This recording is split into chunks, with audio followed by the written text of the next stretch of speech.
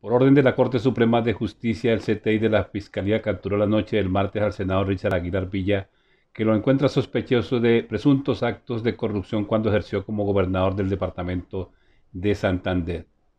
Indica el reporte que la providencia fue adoptada en desarrollo de la investigación por supuestos hechos irregulares en varios contratos suscritos entre 2014 y 2015. Las presuntas irregularidades tienen que ver con contratos de obras de interventoría para el reforzamiento del estadio en la Villa Olímpica de Bucaramanga en 2015, obras de mejoramiento en la carretera San Gil Charalá 2014 y en el corredor vial agroforestal y energético 2014, así como labores de mejoramiento en la vía Bucaramanga Florida Blanca. Concluye el boletín de la Corte Suprema de Justicia informando que, teniendo en cuenta que la investigación adelantada por ellos a otros posibles partícipes en los hechos de corrupción administrativa indagados, la Sala Especial de Instrucción compulsó copias a la Fiscalía General de la Nación para que adelante las eventuales acciones penales que considere pertinentes.